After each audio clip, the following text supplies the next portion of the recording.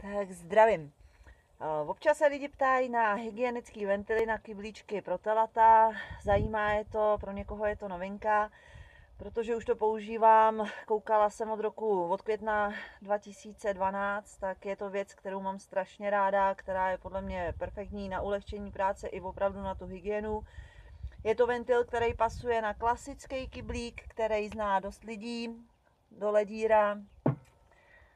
Je na to takovejhle ventil, gumička. Všichni známe gumičky, které se prostě vytahávají, musí se měnit, netěsněj, protejkají. Já jsem je vždycky upřímně nesnášela. Klasický dudlík, že jo, nasadí se, dá se do dudlíku, zašroubuje.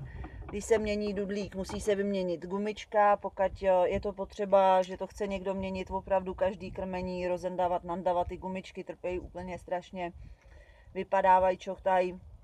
Pokud má někdo ještě jeden typ tady těch ventilů, tak je to fajn, ale většina podniků za ty roky, co tady ty kyblíčky existují, tak má víc typů, takže když jich rozeberete třeba 20-30 v podnicích, kde chtějí mít na každý dítele jeden dudlík, tak pak zjistíte, že máte jednu objímku a jeden tady ten čulibrka nepasuje vám to na to a musíte to předělávat. A, takže málo kdo to rozdělává, i když se to proplachuje, vlastně v tom nějaký ten bordelíček zůstává, je v tom ta práce taková stížená. Teďka v tom roce 2012 nebudu jmenovat firmu, která vlastně tady ty uh, ventily sem, nebo nevím, jestli oni je sem přivezli, ale já jsem od nich jakoby k tomu přišla na jedné prezentaci a ten dudlík je uh, stejný, kyblíček stejný, takže kdo máte tady ty kyblíčky, staré ventilky, Nemusíte měnit kyblíky, stačí koupit tady tu sadičku. Dudlíky jsou stejný, úplně ty, co byly, tady teda, tady ten je použitej, tady ten, co jsem měla, tak je novej, vytažený.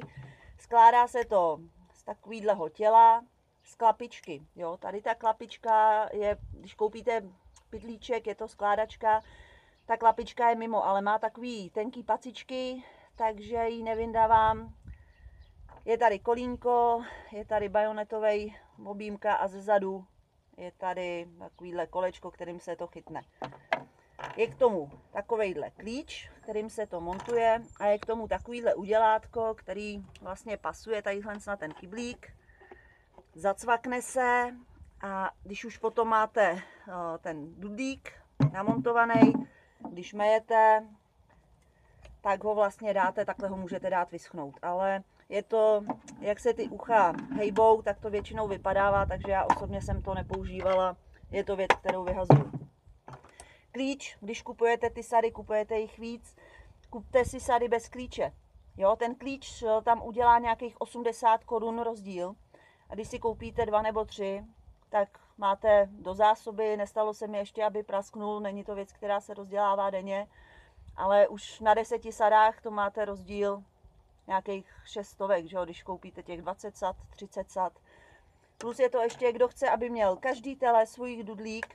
Stačí, když koupíte několik kyblíčků, na ty kyblíčky koupíte tohle a nebo ty sady celý a pak stačí dokoupit, každý váš díl můžete dokoupit mimo. Jo, takže dej, koupíte si, dejme tomu, 12 letě kyblíčku, aby se vám to dobře nosilo a budete, namontujete tam ventil, dáte dudlík, vypije to tele, ponesete kyblíček druhýmu teleti, vycvaknete. Jo, tele dostane nový dudlík, ošetřovatel nemusí mít 50 nebo 100 kyblíčků, umé jich 12, ale ty telata budou mít každý nový kyblíček. Ale je to zase o tom, jak komu to ty telata rychle vypijou, jak moc je tam schopný člověk okolo toho přecházet, nepřecházet. Pro někoho je to třeba utopie a opravdu pro něj bude lepší koupit 100 kyblíčků pro každý tele. Někdo si jich koupí pár a bude s nima běhat do kolečka, bude si je prohazovat. Je to v podstatě každý podnik. Jináč montuje se to, nandá se zvenku tělo, zevnitř je tady ta objímka, doufám, že je to vidět. Chytne se, našroubuje se, vezme se klíč, ten pasuje tady na tu objímečku a dotáhne se. Jo, je to potřeba hlídat, aby to bylo správně. Když to dotahuju, nasazuju si tam už ten dudlík beru to proti tomu, jo, jenom v ruce, možná někdo jste silnější, drsnější, neudržím to já osobně, jo, prokluzuje to. Takže dotáhnout, nebát se toho, opravdu to dotáhnout.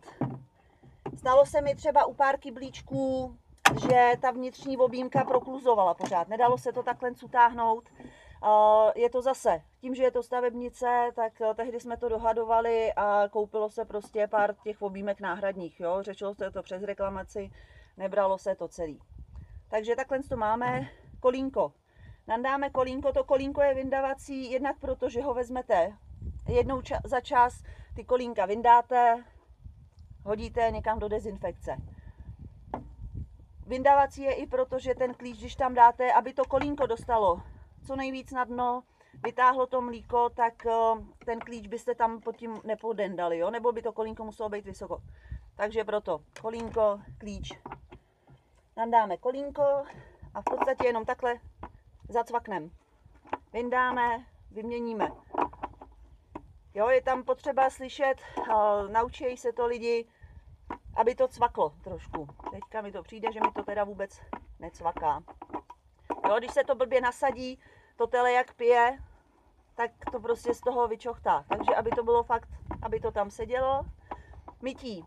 Když meju, naleju, zase jde o to, kolik je těch kyblíčků. Když jich máte pár, nalejete dovnitř teplou vodu, vezmete, párkrát to promáčknete, dáte tam do toho nějaké jar, savo, co kdo dává, co je zvyklý, dezinfekci, propláchnout ten dudlík, na konci vezmete, vylejete dudlík, vylejete, dáte skladovat, známe všichni zůru nohama.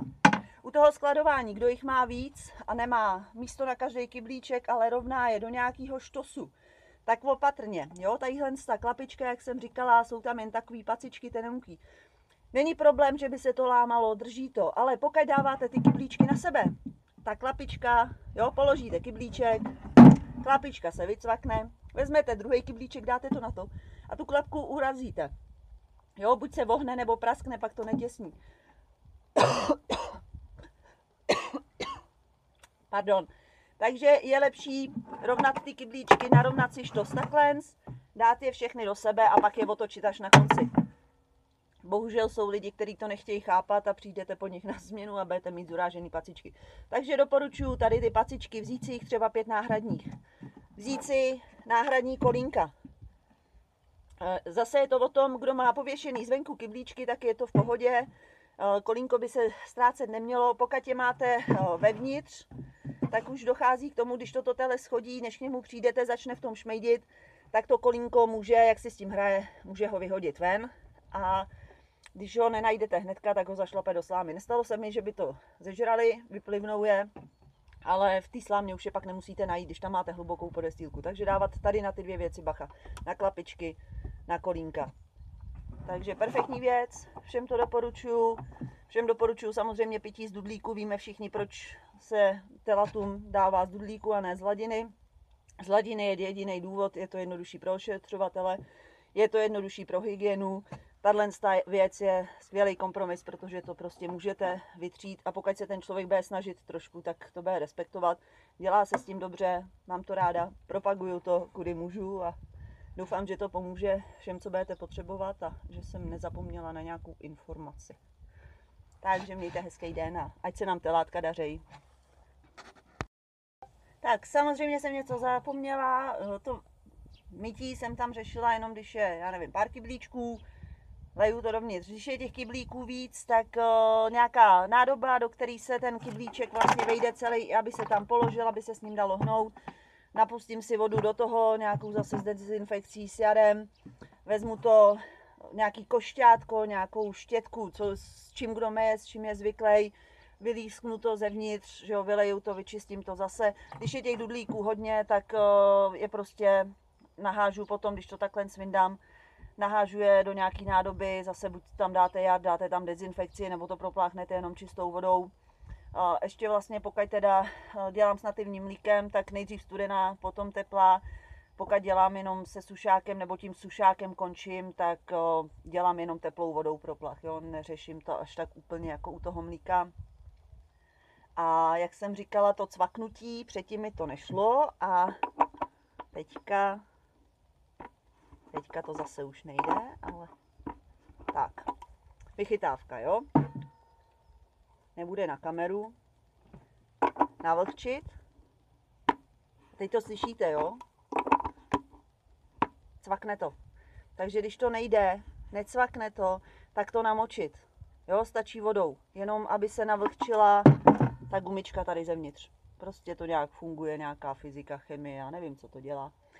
Dudlíky, když tak, doporučuju tady ty uh, kaučukový nebo latexový aspoň. Je to lepší, mám je radši než ty klasický červený, co dřív byly všude, protože uh, ty byly strašně dlouho tvrdý a pak se zase naopak strašně rychle vyčochtali. Měli tam takovou ouskou prodlevu toho, kdy to fungovalo, že to mohli dostat malý telata. Znáte to všichni, dáte nový dudlík, dáte ho novýmu teleti malýmu a to tele to nevypije. Velký, dvouměsíční, tříměsíční lancelák to vytáhne, neví o tom. Dáte to malinkýmu teleti, to tele cucá, cucá, ale vypije litr, vycucá litr a už má unavenou tu pusinku a nevypije zbytek kvůli tomu. Druhý uh, kraj je vlastně ty, co dudlíky nařežou, aby to teklo rychleji, že jo, oni se pak uh, ty růžky ulámou, teče to. Ty telata, zase je to druhá strana. Zase velký tele to vypije, srovná se s tím. Malinký tele se tím zahlcuje, nechce pít. Takže to je i možná problém, když se tam zřeší někde, proč někomu pijou telata 3,5-4 litry mleziva po narození a nemá s tím problém a, a někdo má problém do toho telete něco dostat. Zrenčuje se to, protože jim telata nepijou. Je to hodně často problém dudlíku. Ničeho jiného než dudlíku. Toho, aby byl ten dudlík správný. Takže zase, když máte těch dudlíků víc, tak si vyberete, poznáte, kdo s tím dělá, pozná, který dudlík je kde, vyberete si nějaký ten, co je ve středu, který jde lehce, ale neteče. Takže to tele se neunaví, ale zároveň ho to nezalejvá. Jo, a to tele vypije, většina telat vypije mezi 3,5 litrama, 4 litrama bez problému. Hnedka to první napití, chvilku po otelení, 20 minut, půl hodiny. Jo, ošetříte, uděláte pupek, dáte krávě napít, podojíte krávu a tele nakrmíte a jdete. Ale dudlíčky, snaha a dudlíčky. Jo, takže mějte se.